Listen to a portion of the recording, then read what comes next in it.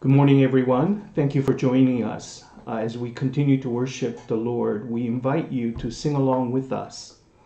Uh, Brother Young Yo has sent you the link, and if you could follow along and sing, Lord, I need you. Lord, we need you. Let's sing together as we open up this worship service. Join us. Good. Friends, we know that more than ever uh, in this season of coronavirus, just affecting every arena of our lives, we need the Lord more than ever. So thank you for joining us for worship as we transition into time of prayer. Just wanted to bring up uh, three major issues. First, around the world. Um, we've been hearing news and following updates on uh, how the coronavirus has affected uh, really every region of uh, the world. In North America, South America, the pandemic crisis has just escalated uh, out of control, and uh, people are panicking, and uh, we are extremely concerned. Many people are asking whether this is a judgment of God well, we know that Bible teaches us that God is God of love and uh, God of mercy, and He is really calling His people to come together to to uh, seek Him and seek His face. So we need to um, come together to pray. And uh, the other thing is, um, as we uh, think about how SNU has been affected by the uh, crisis, every one of you have been affected as well. So let's pray for SNU and also all the uh, students on campus as well, all the professors and staff, etc. And we know that we all have prayer concerns that only God knows about, and we want to spend some time just looking over some of our prayer requests and, and uh, come together in prayer. So please join us uh, for a time of prayer. And let's pray.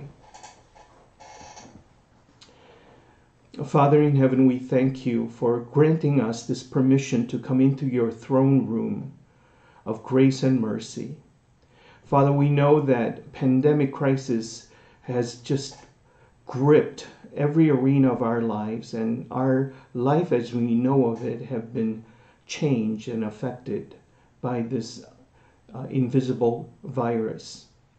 And Father, we also know that you are reigning king over every situation, including the coronavirus crisis. Father, we know that when Jesus um, came to be with us 2,000 years ago, he calmed the wind and calmed the sea. And people marveled how the nature and, and natural situations like this even obeyed him. So we surrender this pandemic situation uh, to you. Reign over this situation. And we pray that you would arrest this crisis and bring normacy uh, to, to our life. Father, we need you more than ever. So we humbly come before you to ask that you would give wisdom and grace to people in the uh, medical field and um, all the people working at hospitals in order to to really tackle this situation, we ask that you would help them in, in the uh, field of medicine. Also, Father, be with families of those who have been affected by coronavirus, and we ask that you would engage yourself in such a way to bring about healing speedily. Father, we know that you are with us, even in this time of trouble. And our you, uh, your help for in our situation is ever increasing, and we humbly come before you and surrender ourselves completely to you. We ask that you would help us to know that uh, you're in control. And Father, we, we know that you are God who is quick to listen to our prayers and come to our uh, come to be with us in, in this time of trouble and season of crisis. So, Father, we ask that you would make yourself become real, um, that you are Emmanuel God who is going through this situation with us. Father, we also know, even though we may not have a full understanding of what good purposes could come out of this, but we know that you are reigning over this situation and you are going to bring about good and eternal purposes and accomplish good things that you have planned. So, Father, we ask that you would uh, bring all the things together to, to bring about the ultimate good as we surrender ourselves and learn and, and uh, continue to seek you and obey you. And Father, millions and millions of people around the world are uh, hopelessly lost. And there are places around the world that they do not have medical assistance and uh, medical help. And we ask that you would you would help them in this urgent crisis. And Father, we also ask that you would empower your church, uh, the bride of Christ, to become visible and active, engaging in order to bring about uh, much needed relief and healing in this situation. Father, we ask you to empower your church, to raise up your church so that we could become the visible manifestation and also the representative of the good news of gospel of Jesus Christ. Oh, Father, we, as we turn our attention to SNU, Father, we pray that you would be with professors and all the staff and protect this school. Father, you know that thousands and thousands of students are studying in order to become useful members of this society, and we ask that you would help the professors and all the students. Especially, Father, we pray for international students who are uh, here in Korea, getting adjusted to a strange culture and strange language and people that are not familiar to them. So, Father, we ask that you would grant them wisdom. And Lord, we know that we, every one of us, have um, individual prayer requests that you know about. So, Father, we ask that you would open up the floodgates of heaven and engage yourselves with every single one of one of our members here at uh, SNUIC. And Father, lead, lead us and guide us and guide our steps in such a way that we would grow in the knowledge of who you are and we would learn how to depend on you all the more and look to you, not on circumstances, but focus our attention on you and you alone. So may your plans and will be accomplished in us and through us. And Father, once again, we thank you for granting us this opportunity to come together to worship and pray. And we ask that you would help us to worship you in the Spirit and in truth. In Jesus' precious name, we surrender this prayer. Amen. Well, thank you for uh, interceding with us. And as we turn our attention to um, the passage for today, you know that we have started a new passage, the book of Ephesians, as many of you are meditating and reflecting on these passages. And over this weekend, uh, we meditated on this passage portion that um, at, uh, at iGathering. And if you could go back and, and take uh, start reading from verse 11 of chapter 2 of the book of Ephesians, that would be great. So let's take it from Ephesians chapter 2, starting with verse 11. Therefore, remember that formerly you are Gentiles by birth and called uncircumcised by those who call themselves the circumcision, which is done in the body by human hands. Remember that at the time you were separated from Christ, excluded from citizenship in Israel, and foreigners to the covenants of the promise, without hope and without God in the world. But now in Christ Jesus, you who once were far away have been brought near by the blood of Christ. For he himself is our peace, who has made the two groups one and has destroyed the barrier, the dividing wall of hostility, by setting aside in his flesh the law with its commands and regulations. His purpose was to create in himself one new humanity out of the two, thus making peace and in one body to reconcile both of them to God through the cross, by which he put to death their hostility. He came and preached peace to you who are far away and peace to those who are near. For through him we both have access to the Father by one Spirit. Consequently, you are no longer foreigners and strangers, but fellow citizens with God's people and also members of his household, built on the foundation of the apostles and prophets, with Christ Jesus himself as the chief cornerstone. In him the whole building is joined together and rises to become a holy temple in the Lord and in him you too are being built together to become a dwelling in which God lives by his Spirit. This is the Word of God.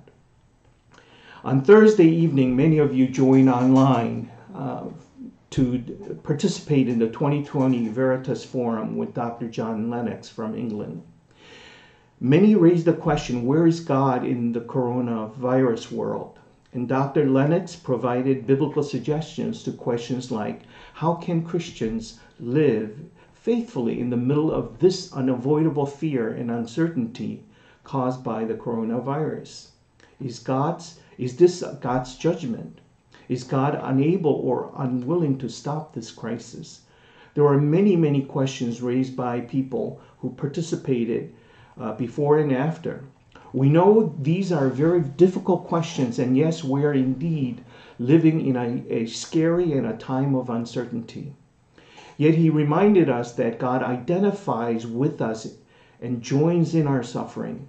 He doesn't stay away, stand aloof from our suffering and pain, but he actually joins because this is really the central concept of Christianity and the core idea of Christianity that God, who does not leave humanity in pain and suffering, but He actually came and joined us by uh, sending His one and only Son, Jesus, the Son of God, who took up the cross and became part of the human suffering.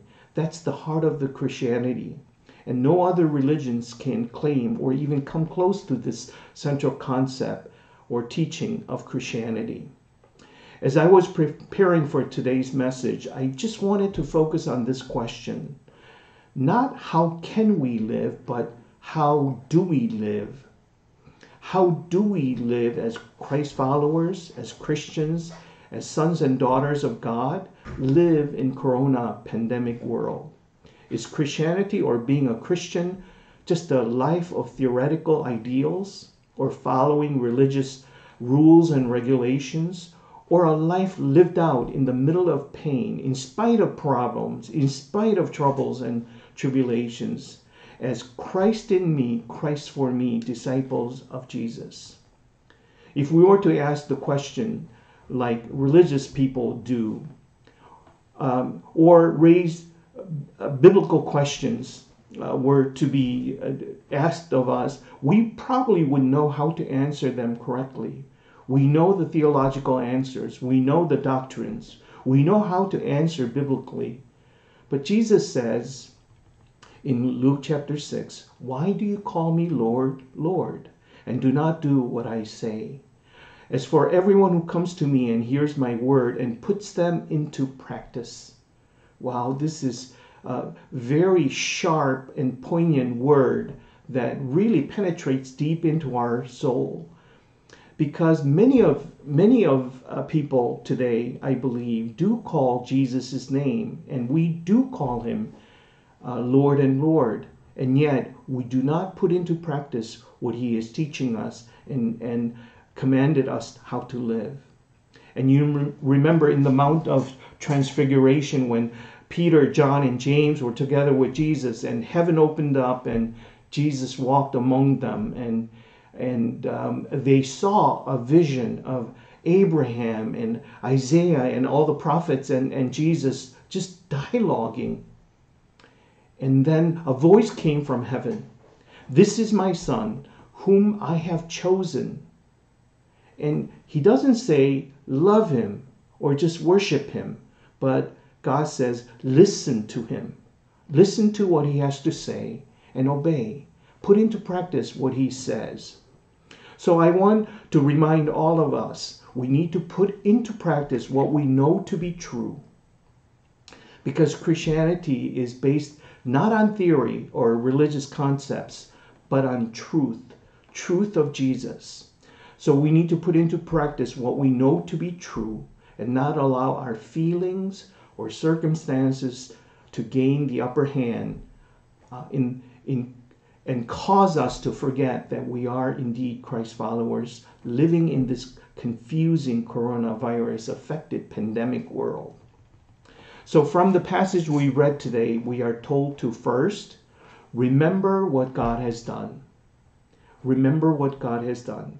Because we have been saved by grace, uh, by faith. And number two, practice doing life in the presence of the Father. We need to know that He is with us, He's here, He's with us, He's doing and, and actually very much interested and involved and engaged in, in the affairs of our life on a daily basis. So we need to practice doing life in His presence as if He were with us because He is with us. And third, we need to be the church for such time as this. We have to be the church. There's no other plan for God. God did not say, well, those of you who want to be the church, you could be the church. Others of you could just go about doing your life as as uh, it comes and goes. No, he he wants all of us to be the church. And do you know that our obedience actually allows God to build his church and build up his kingdom? So that's those are the three things that I want you all of us to know. First, remember. Second, practice. And third, let's be the church. Okay? So let's go one at a time. Remember.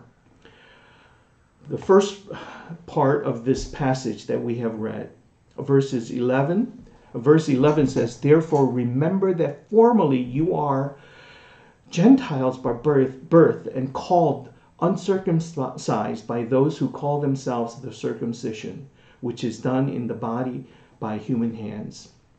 You see, the Gentiles were not included uh, as people of God. And even though Jesus came, people simply did not understand this concept that God, the creator of the universe, wanted everyone to come into his kingdom, to become a family member of, of uh, heavenly realms. But people wanted to separate and divide and, and say, you, you can't be part of us. I believe this kind of division and, and subtle condescension and separation exists even today. And uh, 2,000 years ago, Apostle Paul reminds us to, to, the audience in, in the church of Ephesus or in the region of Ephesus, he says, Formerly you were all Gentiles by birth and called the uncircumcised. At the basic level, most of us are not Jewish by birth, nor by ethnicity. Most of us were born in countries and nations where the gospel of Jesus Christ was not available by tradition. Not even religiously we, we were connected to Christianity. I want, you, I want to give you a little bit of historical background just on Korea.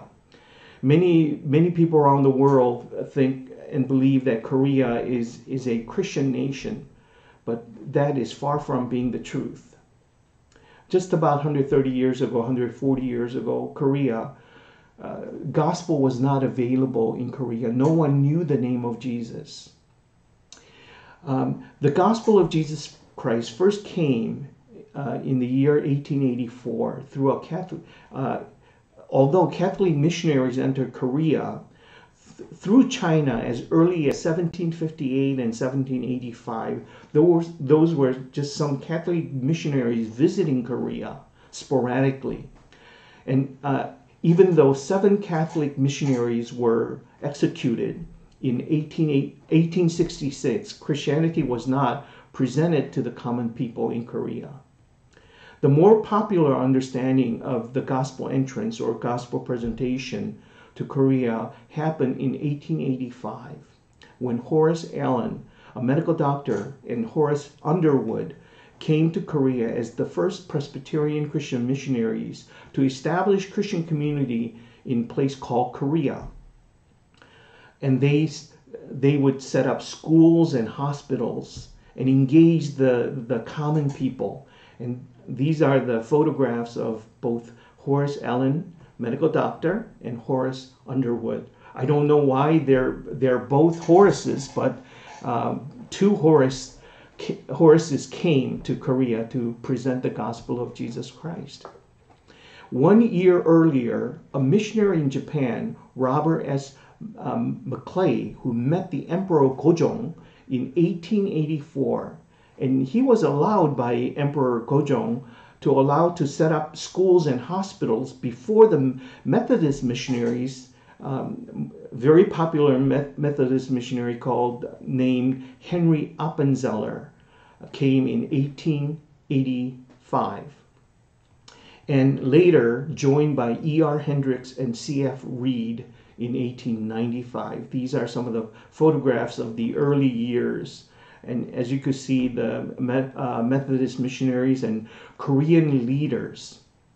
These are, uh, and also these are the evidence for thousands of missionaries who followed, who came late later to present the gospel of Jesus Christ to Koreans.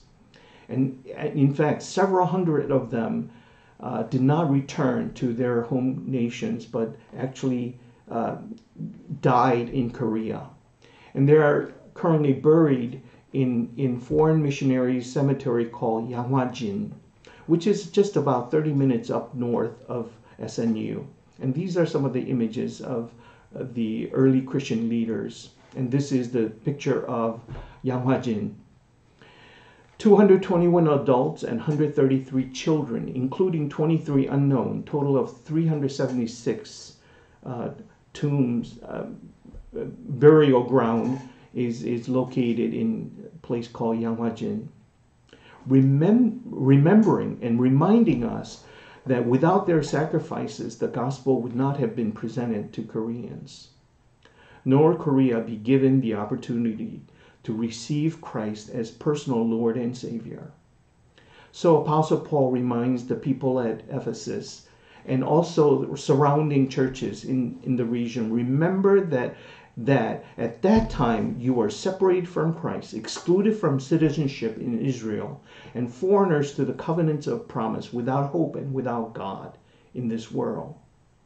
And he reminds us that it is really by gift that we have been given the gospel. Earlier in the chapter, in uh, Ephesians chapter 2, verses 8 and 9, Apostle Paul says, For it is it is by grace you have been saved through faith, and this is not from yourselves, it is the gift of God, not by works, so that no one can boast. You see, just simply understanding these concepts that God sent his one and only Son to die for us on the cross, and anyone who believes in him will be saved, is not enough. If it's a gift, the receiver has to receive the gift.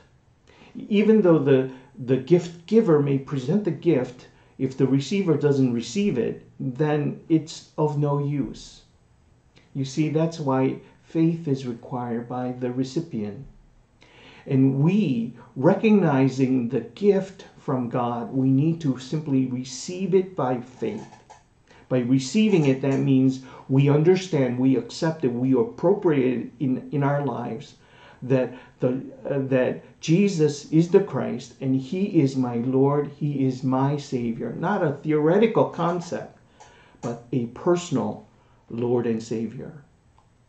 Korea was entrenched in religious shamanism and Confucianism and Buddhism when the gospel of Jesus Christ came to Korea.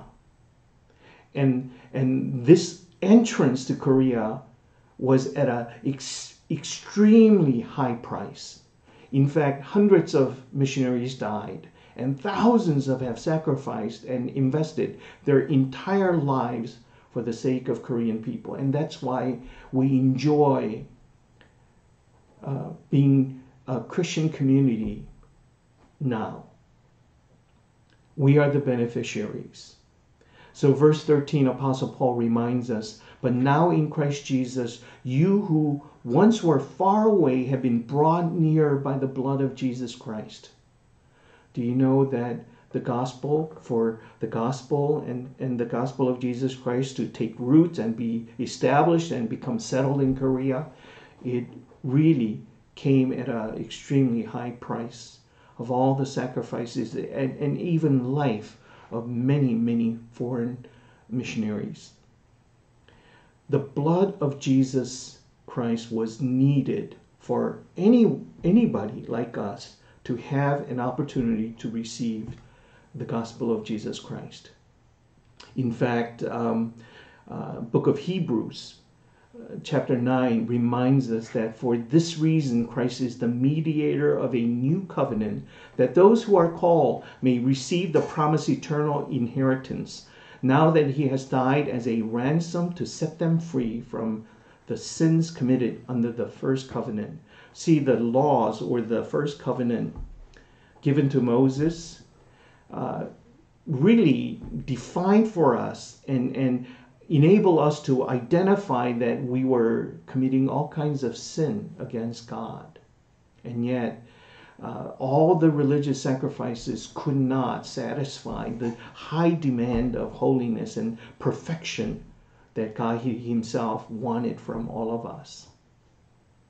So even though thousands and thousands, in fact hundreds and thousands of animals, animals were sacrificed repeatedly, it really did not do anything for, for humanity until Son of God, Jesus Christ, came. And once and for all, he paid the ransom to set us free. And that's what the Bible says.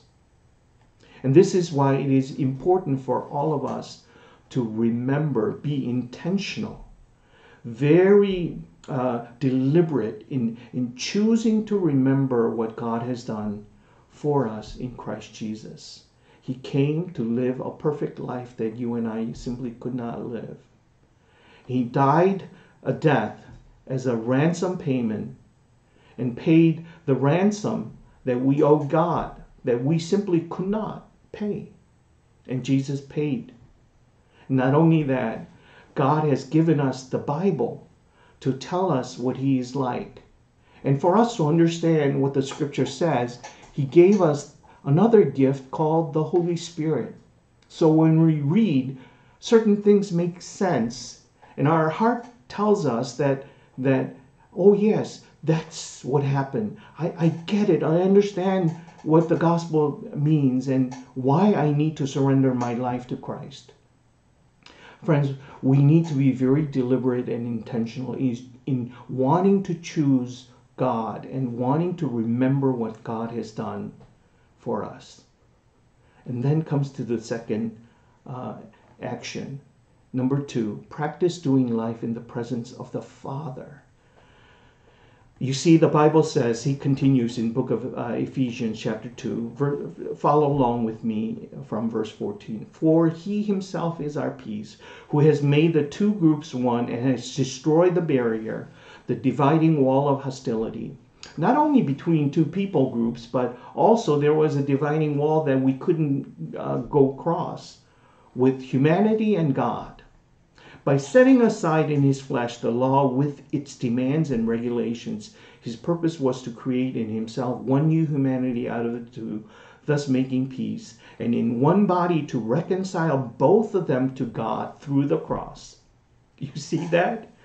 Uh, he wanted to reconcile both of them to God. The ultimate purpose was to break down the barrier that existed between God and humanity and he broke them and, and he reconciled both of them to God through the cross of Jesus Christ, and by which he put to death uh, their hostility.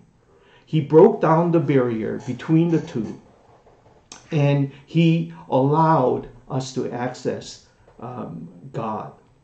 And then uh, in, in the scripture, we are reminded in the book of Ecclesiastes, chapter 3, verse 11, he has said everything beautiful in its time. He has also set eternity in the human hearts. Yet no one can fathom what God has done through, uh, done th- from beginning to, the, to end.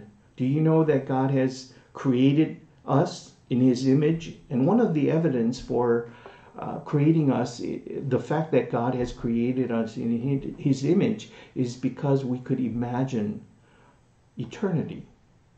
We long for eternity. We know that this world is not everything there is. And that's why, even in corona pandemic world, we know that things will be uh, be, become arrested and things will return to normalcy and God will reign over even in this situation.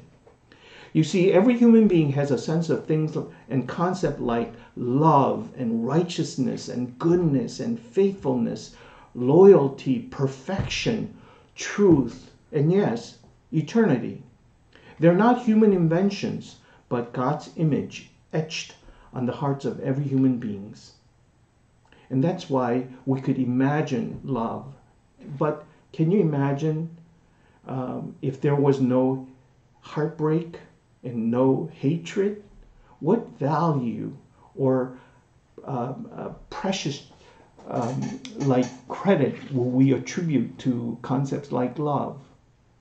What would faithfulness be with without laziness? And what would loyalty be like without people betraying us. See, what would comfort and peace and, and, and righteousness be like without crimes and sins and uh, all the troubles that we see that's uh, premin, uh, predominant around the world? So he continues. He came and preached peace to you who were far away and peace to those who were near. For through him we both have access to the Father by one Spirit. Friends, do you know that um, how difficult it would be for you to have make an appointment with the president of SNU, or let alone department um, dean?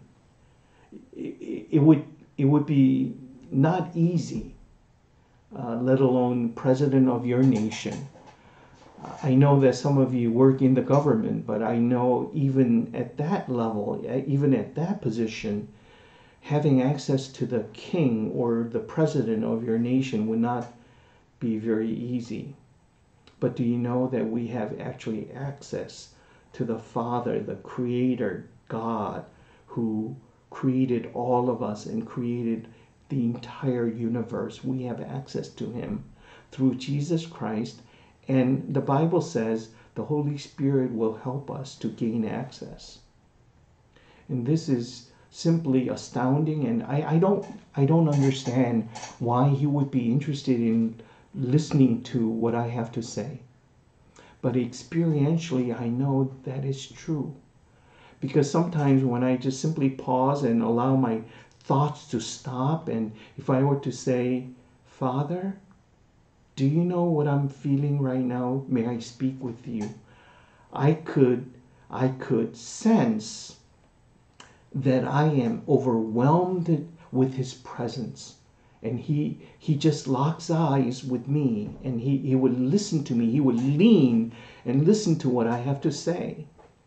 Um, I know that um, uh, sometimes, you know, when, when I receive a call from my daughter, I would answer. I would be using hello, uh, my natural voice, but people around my office and people uh, who saw me answer my daughter's call would say, Pastor David, your voice changes every time you, you answer a call from your daughter.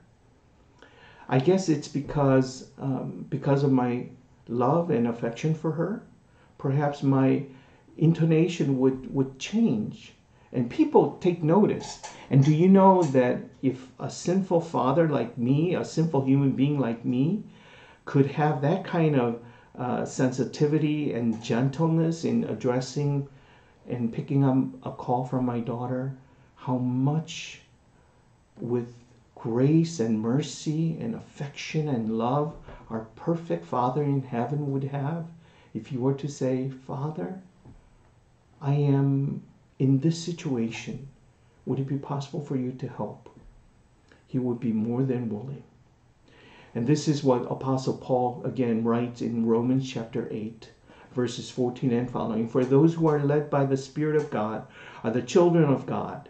You and I are children of God, and that means uh, we are led by the Spirit of God. The Spirit you receive does not make you slaves so that you live in fear again. Rather, the Spirit you receive brought about your adoption as sons and daughtership.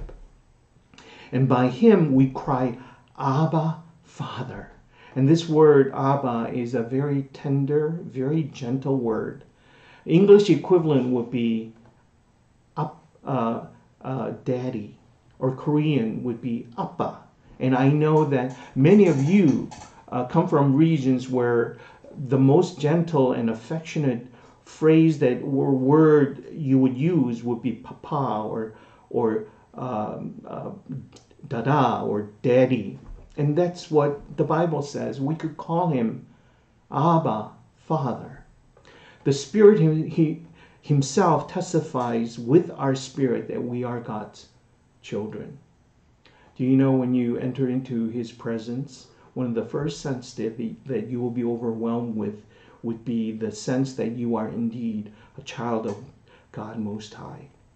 God has given us not only Jesus, his one and only begotten Son, but along with him the Holy Spirit. And on top of that, as I have mentioned before, he gave us his word, the scriptures, for us to get to know who God is and what kind of God he is and what kind of plans that he has for us. And there is one more gift that God has given us. And that's why, with this gift, we could actually overcome even the coronavirus. And even though we may have uncertainty about the future, and all the economists and people in the financial institutions are saying the worst is yet to come, but we know that we are still going to be okay because God has given us the gift of the church. And this is not just building or structure or a place. It's not uh, uh, established by bricks and mortars, but he collected a community of people to come together by investing his Holy Spirit in all of us to become the church. And we need to be the church, and our obedience has tremendous amount of power. Do you know it has a latent potential to be, be unleashed and change and transform the world that we come in contact with every day if we become the church? Our obedience actually allows God to work in us and through us to affect change and transform the world. So, verse 19 and following, take a look at what Apostle Paul says. Consequently, you are no longer foreigners and strangers, but fellow citizens with God's people and also members of his household. We are members of his family, built on the foundation of the apostles and prophets, with Jesus, Christ Jesus himself as the chief cornerstone. God not just saved us individually, but as a community to become fellow citizens and to be members of his household and to be included in God's people. This is amazing. This is what the Bible says. And yet, take a look at this. Built on the foundation of the apostles and the prophets, with Christ Himself, Jesus Himself, as the chief cornerstone. Friends, the foundation of this church that uh, God is building, the foundations are, um, you know what foundations are, right? When when the architect and, and construction companies build build up a, a building, they dig deep into the ground and they lay the foundation down so that the building will stand sturdy and strong. When the wind blows, it wouldn't break. The foundations are usually invisible because they're buried below the ground. They don't take the spotlight. Uh, they're not easily seen. And the church that God is building and establishing here says the built on the foundation of the apostles. The church leaders who started this, this evangelism process of, of explaining and defining the gospel of Jesus Christ so that normal people like you and me could understand and get it and appropriate that by faith. The grace of God presented to us in Jesus Christ. These were the, the, the, the apostles of Jesus Christ, and they are buried as a foundation. And along with them, all the prophets, all the prophets that we, we hear of in the Old Testament. And then we know that Jesus Christ became the chief cornerstone, setting the mark to begin this process. Many of them gave their lives for us to be, be beneficiaries of this gospel of Jesus Christ. And this also reminds us um, a tremendous sort of a concept right side up. It's not reversed because this is God's way of wanting to say, look, those of you who understand the gospel, would it be possible for you to become the foundation so that others could be established on top of you?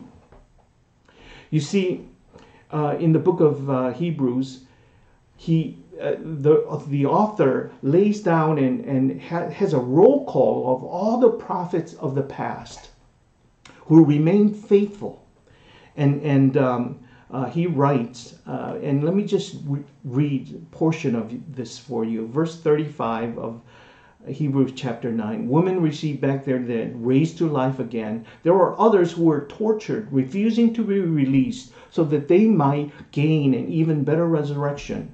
Some faced jeers and flogging and even chains and imprisonment. They were put to death by stoning. They were sawed in two. They were killed by the sword. They went on about in sheepskins and goatskins and destitute, persecuted, and mistreated. Well, what a life!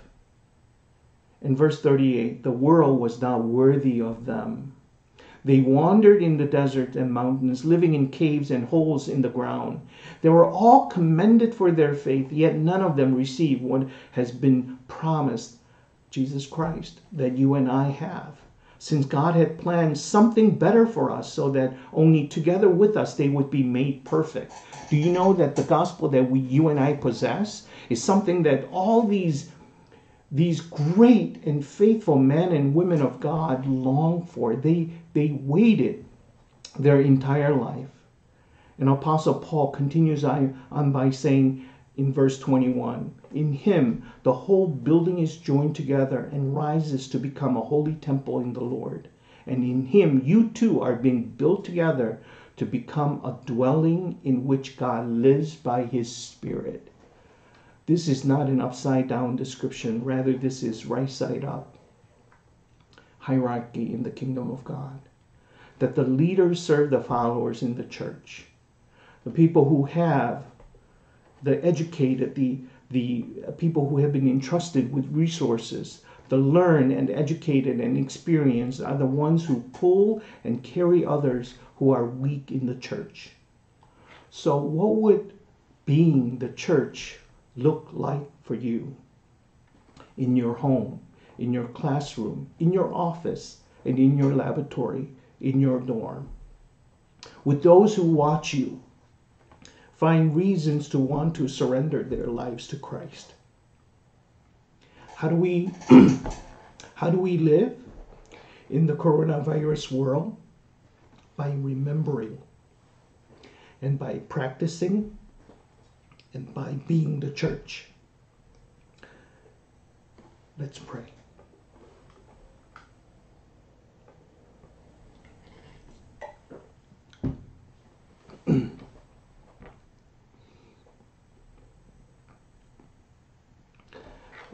Father in heaven, we thank you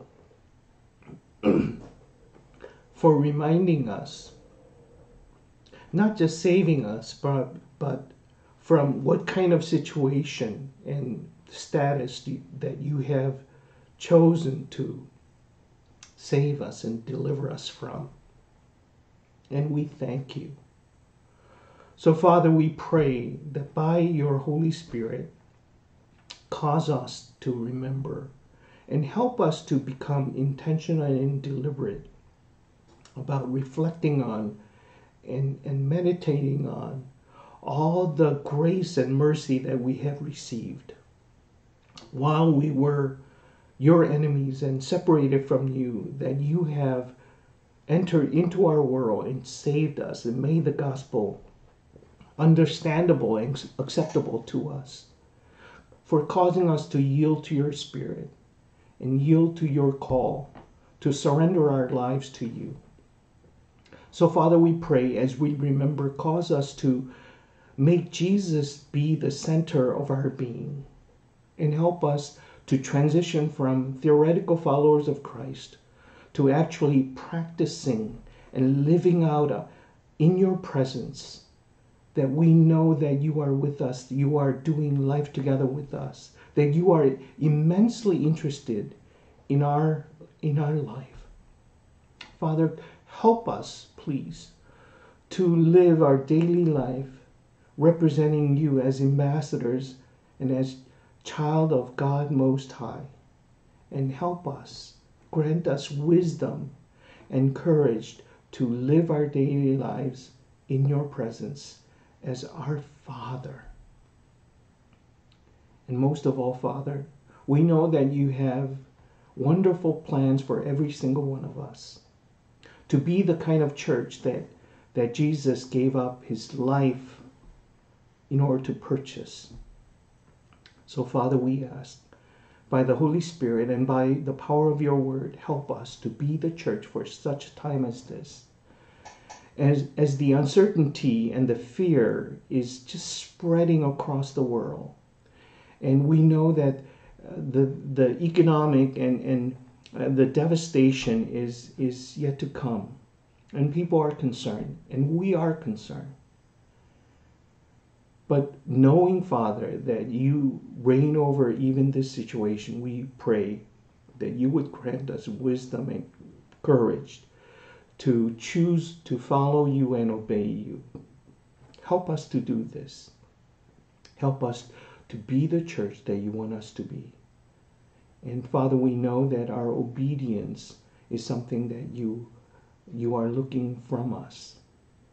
And as we continue to strive, oh Father, we pray that you would unleash your most gentle and powerful Holy Spirit for us to surrender our life one decision, one choice at a time, and help us to be the very church that you, you are looking for in such time as this. And once again, we thank you for meeting us and receiving our worship. We love you, Lord, and we surrender all of our prayers in the majestic name of Jesus. Amen. Okay, friends. um, as many of you know, that um, uh, um, a couple of quick announcements. Number one is that online offering. We have the information on the slide that you have received, and if you could, um, uh, if you consider SNU International Church part of your church, uh, your donation and your offering would would help us to continue to to um, uh, build this church to be strong and and have its presence um, affect change for many international students coming to SNU. And second thing is just a quick reminder that I Gatherings is continuing on Tuesday, Thursday, and Saturdays. And we are studying through the book of Ephesians. And we'll be starting uh, with chapter 3 on Monday. So, those of you who are um, really role models in your class, I know that you do uh, pre-course assignments faithfully. And if you reflect and start just meditating on chapter 3 uh, it would help uh, everyone's corporate learning experience. So if you could do that that would be fantastic. Okay? And um, um, um, so again we thank you for joining us for worship and uh, let's close in uh, with a word of prayer and benediction Father, once again, we thank you. We thank you for everything that you have done and you are currently doing. As, as we come together to bring our fears and anxieties and uncertainties about the future and um, this paralyzing fear that, that all of us have deeply lodged inside of us. Father, how are we going to overcome this pandemic crisis? And who will protect and safeguard our family members? And these are concerns, real concerns that we have. So, Father, we surrender them to you. And we're going to remember it is by grace that you have saved us. So, cause us to remember and put into practice so that we could be the church you want us to be. and Father, thank you for choosing us. And now may the grace of our Lord Jesus Christ and perfect eternal love of the Father and the ministry of the Holy Spirit who chooses people like us to become the conduit of your blessing and carrier of the gospel of Jesus Christ to people that you want to reach and establish relationship with. Father, use us and use our obedience to bring about your church and enlarge your kingdom from this moment on forevermore. Amen.